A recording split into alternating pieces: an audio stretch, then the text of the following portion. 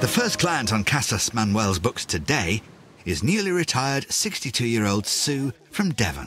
Hello, Manuel. Hey, yeah. Hello, I'm Sue. Sue is looking for a Spanish sanctuary, and sun is top of her wish list.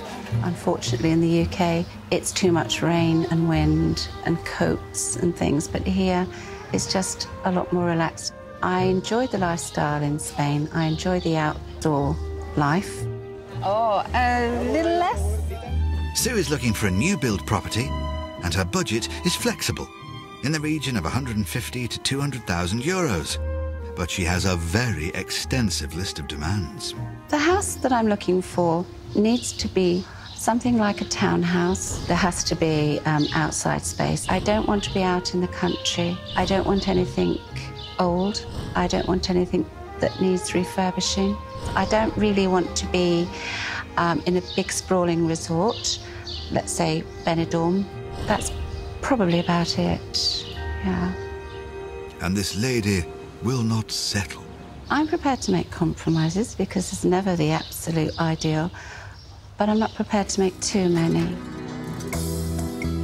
It sounds like Casas Manuel might have a job on their hands to get her what she wants.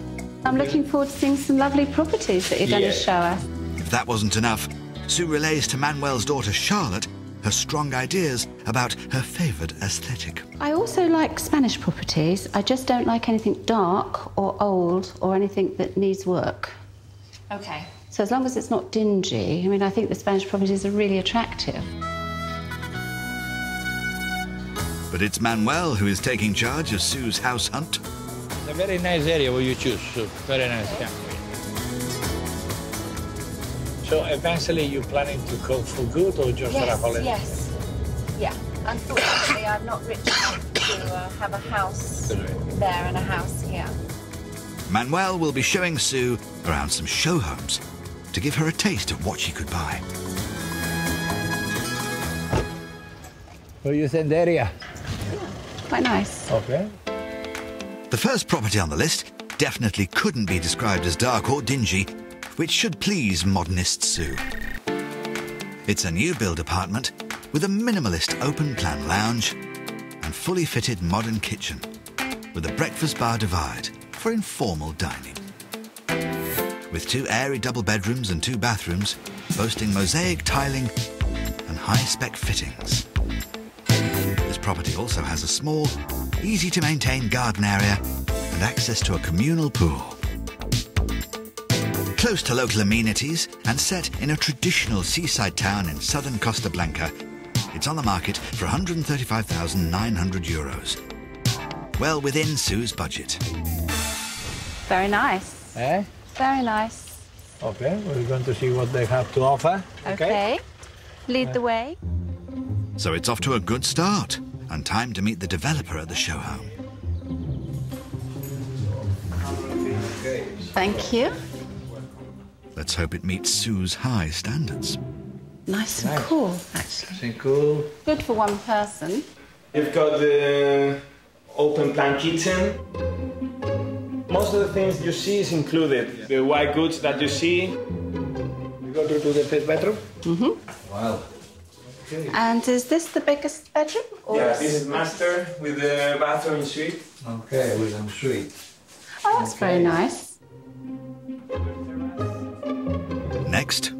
Outside space. You can use this area for barbecue or whatever.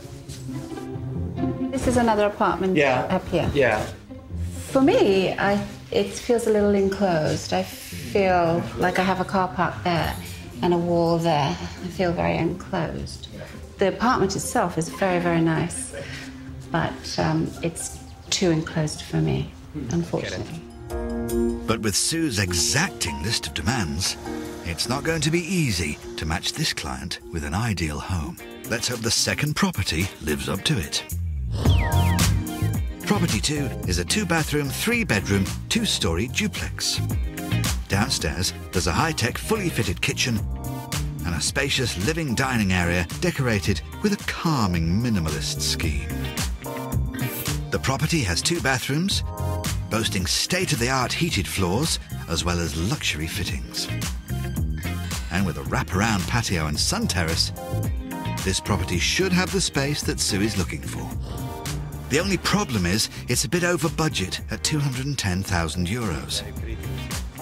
But Manuel's tactic is to give her an idea of what a spacious new build at this price is like. Okay, I'm Okay. interested to have a look at this one. Please, come in. Oh, this is this is nice. Yeah. Even though it's not a square room, which I usually prefer, it's still quite spacious. It looks like Manuel has hit the mark with this property. It's got a lovely airy feel about it. No claustrophobia in here, Manuel. No. Lovely finish everywhere. Beautiful finish. Yeah. It seems this property has given Sue a taste of what she wants. But there's a catch. My only worry is that it is over budget. But Manuel has a plan. Okay, so this will go over your budget. Yes. But you can get something like that and smaller. Same Well, kind of layout, but yeah. uh, slightly smaller. smaller.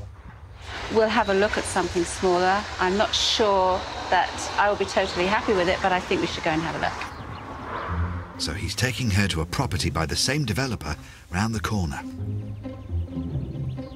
But what he hasn't told her is that it's a little way off from being finished. So, Manuel, what have you brought me to? This is a stack of bricks.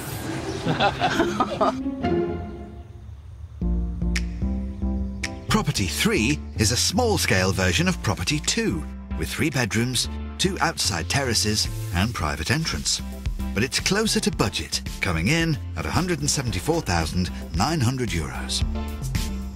So, this is one house. One house where you got a neighbor in the top. Oh, okay. Okay. That's what the steps are for. Sue wasn't keen on sharing a plot at Property 1. So is it a lost cause? My only reservation here is that I have somebody living up there, and that I'm not. I don't think I'd like that. I think I would like my plot to be mine. I don't want to have to share with anybody. Manuel is running out of options. Sue is a beautiful lady, but she expect too much for what she want to pay. After a frustrating couple of days showing Sue around three properties, Manuel's pretty stumped. It looks like Sue will be returning to the UK empty handed. But in the car, Sue drops a bombshell that could change everything. I had to set a budget, Yeah, oh, yeah, you and that's the budget that I set, thinking that I can go either side of it. You know, it's not. Uh, it's not absolutely set. It's just there as a guideline. I can go less and I can go a bit more. This is an incredible revelation for Manuel. Knowing she can up the budget, he thinks he has the perfect property that could meet all of Sue's criteria, and there's just enough time to squeeze in a viewing. A luxury three bedroom detached villa located in Roda, a traditional Spanish town full of character. It has a large lounge with minimalist clean lines and an open kitchen, chock full of modern appliances.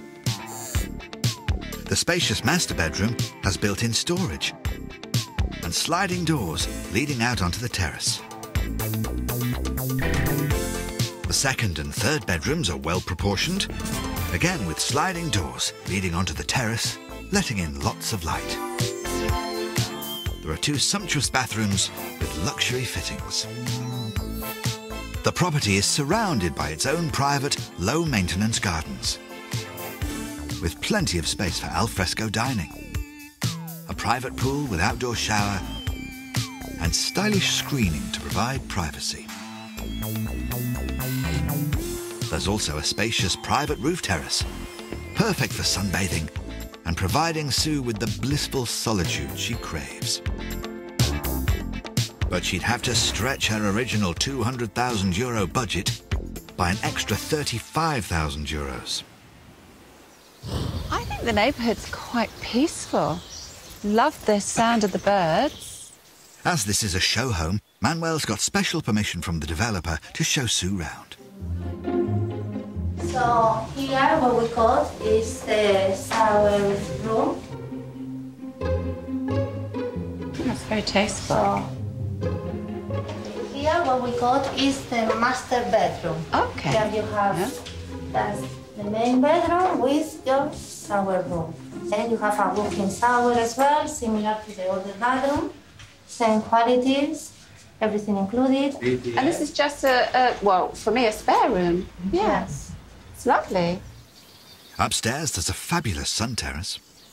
In a solarium like this, you need a you need a parasol. But I would only come up here in the mornings and the evenings. I wouldn't. Um, Yeah, but you need, it'd be nice when you see the sun. lovely. The sun go down. The sunset is going down. Yeah. It'll be beautiful. Yes. Yeah. Finally, Manuel's hard work seems to be paying off. I really like this. This is similar to mm-hmm. what I have at home in that it's very open. I have the terraces all around, and that was what I wanted to achieve. Yeah, I really like the house. Life's an adventure, and if, if I don't do it now, I'm never going to do it. Sue likes it so much, in fact. She doesn't just want to buy a house on this development, she wants to buy this very house, the show home. I really like the show house. I would like this one. Then it means you want to buy the show house. But there's a snag. If Sue wants this particular one, she'll have to wait until all the other properties on the development have been sold. With it being a show house and with it not being on the market right now, do you have but like a, a, a list? Could I be at the top of the list Yes. for this one? It could take 10 months for all the other properties on the development to be sold, but it will eventually mean a sale for Manuel and a home in the sun for Sue. Well, I think uh, went very, very well. So I think uh, this house can be the house for her. This dream, I think, come true. My living space is an extension of me, and I just I have to be as comfortable with my home as I am with myself, and that's how I feel here.